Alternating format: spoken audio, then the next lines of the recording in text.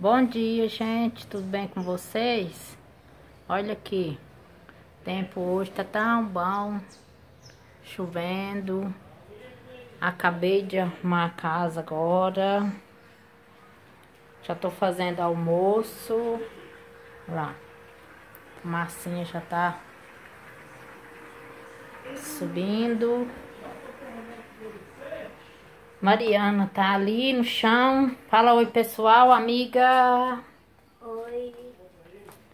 Olha aqui, gente, o tapete que eu ganhei da minha comadre. Fecha essa gaveta aqui. Tanto que é bonito. Vou colocar lá no banheiro. Amo esses tapetes de retalho, ó. Ela é tão caprichosa. E mostrar pra vocês aqui a minha